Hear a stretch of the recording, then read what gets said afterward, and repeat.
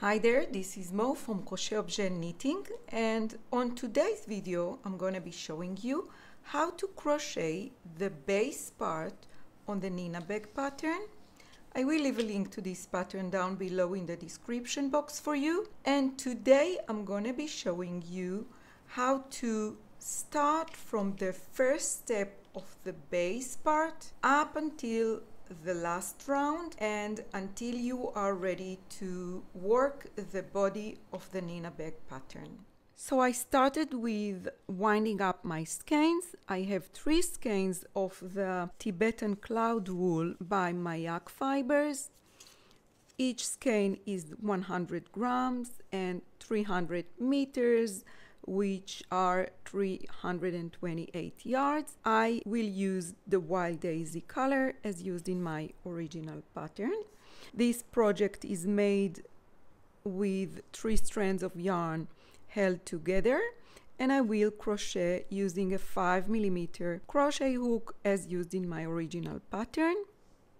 We will also need a removable stitch marker. So we want to start with a chain 25. So I want to make a knot.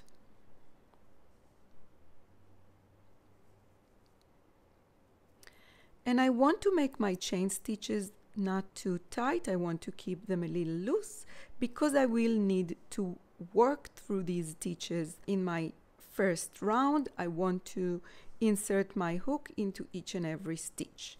So let's keep them not too tight.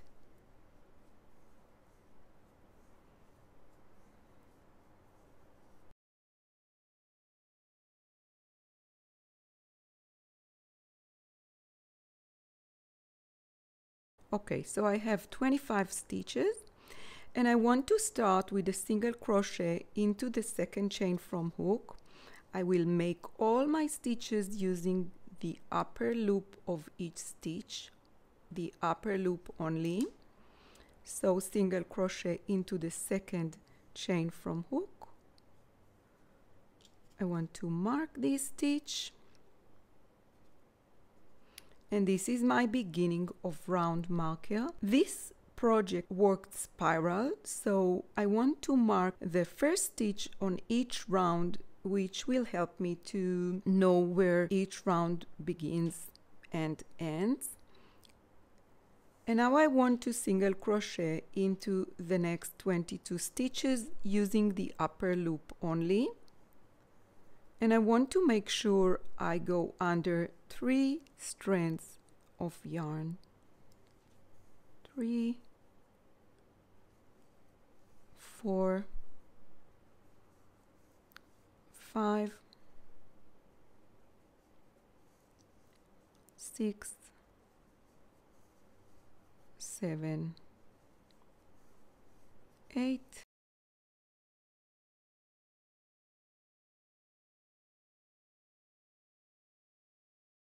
and now I reach the last stitch and I want to make three single crochet into the last stitch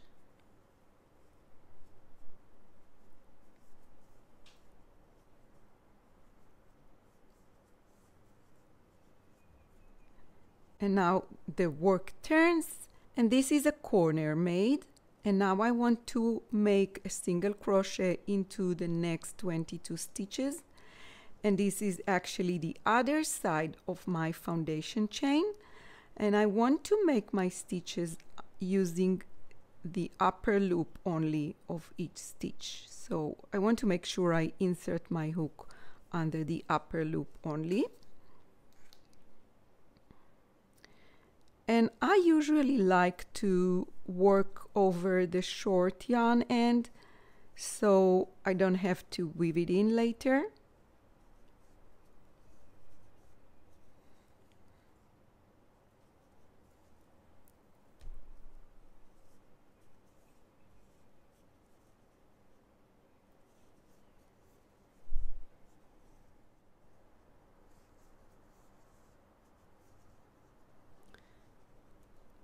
and now I reach the point where I started this round. This is my beginning of round marker and I want to end up this round with two single crochet into the same place where I started this round. So one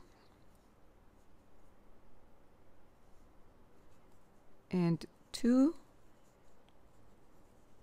and this is my first round completed I will continue working the second round spiral. So first I want to remove my beginning of round marker. I want to make three single crochet into the first stitch. So one two and three. And I want to mark the first stitch I made in this round so I know this is the beginning of the round. And now I will make a single crochet in the next 22 stitches all the way to next corner. And I will make my stitches inserting my hook under both loops of each stitch. So just regularly this is not anymore a foundation chain stitches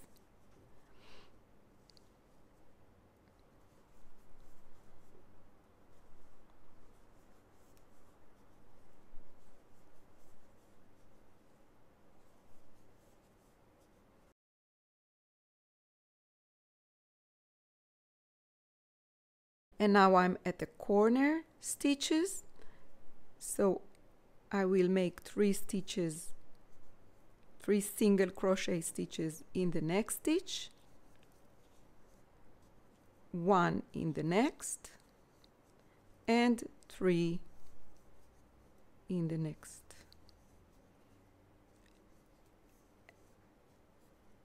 And now I made two corners out of the first corner I made I have three stitches here and three stitches here. And now I'll make one single crochet stitch in each of the next 22 stitches.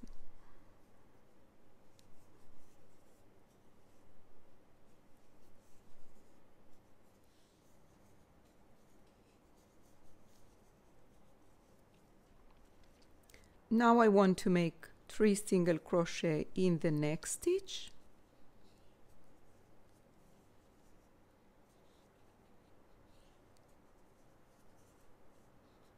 and one in the next. And this is the last stitch. So at the end of round two you can start and see a very narrow and long triangle shape with four corner. And with it in each corner we have three single crochet stitches. And now we are ready to move on to the third round so in the third round, we want to start with a single crochet in the first stitch. So first I want to remove my beginning of round marker, make the first single crochet and mark it. Next I want to make three single crochet in the next stitch which will form the new corner and next I will make one single crochet in each of the next 24 stitches.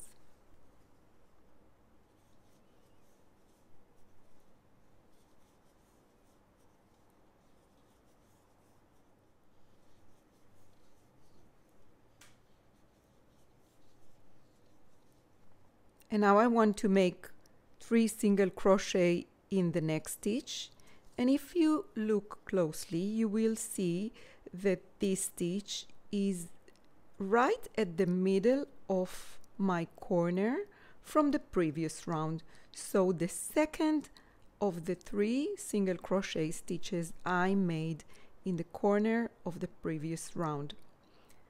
So I'll go ahead and make three stitches three single crochet stitches in the next stitch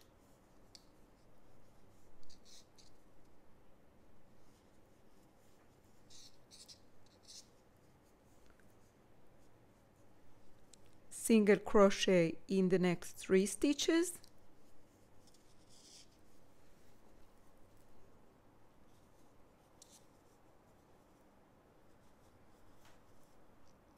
And three stitches in the next which is again the second in the three of out of the three from the corner from the previous round.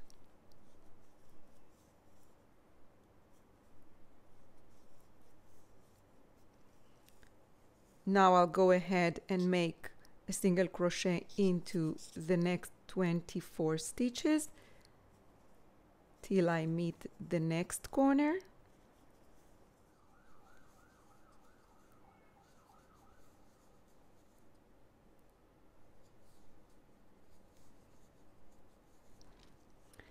And now I'm again at the corner stitch and I want to make three single crochet into this corner stitch and I want to finish this round by making a single crochet into the next two stitches.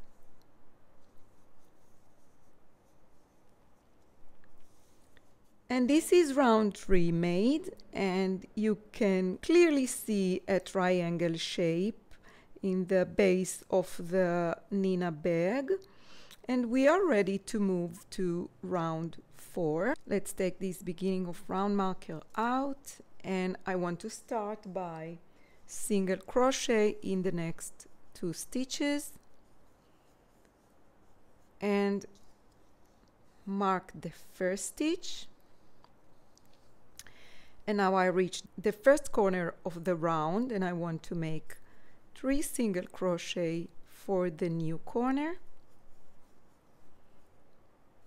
in the same stitch. So next I want to make a single crochet in the next 26 stitches all the way up to the next corner stitch. And now I'm at the next corner stitch and I want to make three single crochet into the corner stitch. And it creates my new corner. Next I will single crochet in the next five stitches. One two three four and five. And next I will make three single crochet in the next stitch which is the corner stitch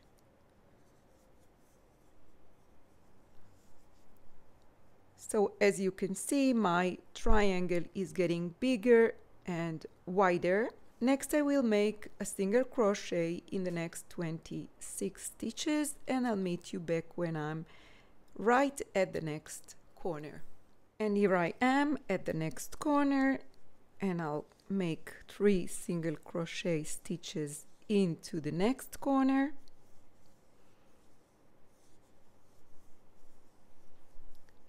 and I want to finish this round by making a single crochet in the last three stitches.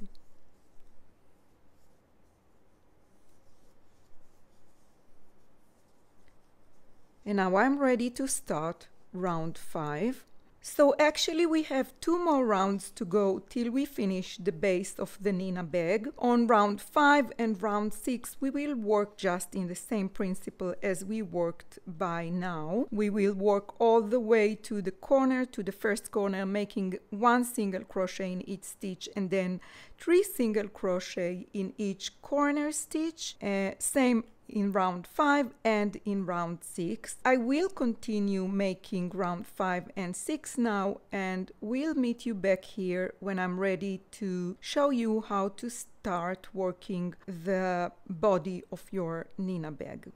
So now I have only 5 more stitches to go till I finish round 6 on my Nina bag base.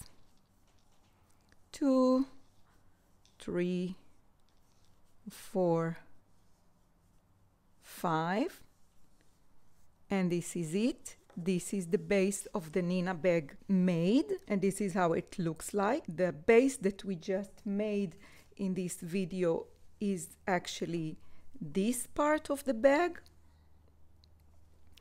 And now we are ready to go ahead and crochet the body of the bag. So first thing, I want to make sure I have 90 stitches around and I want to make sure I have the correct count of the stitches. And second, before I go ahead and continue working, I want to place a marker on one of the stitches, on the legs of one of the stitches around the last round I just made. And now I'm ready to go ahead and crochet the body.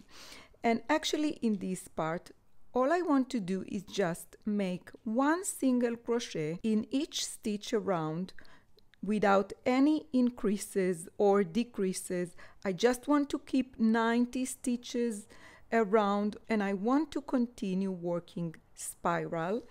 I will still keep my beginning of round marker. I will place it on the first stitch of each round and I want to crochet 20 centimeters from this marker. So I will continue and make my single crochet stitches around in a spiral way till I have 20 centimeters up from the last round of the base and till I'm ready to make the handles. So I think this is it for today. This was the um, base of the Nina bag tutorial. I will leave a link to this pattern down below in the description box for you. Thank you so much for watching this video tutorial till the end and I will see you on my next one. Bye!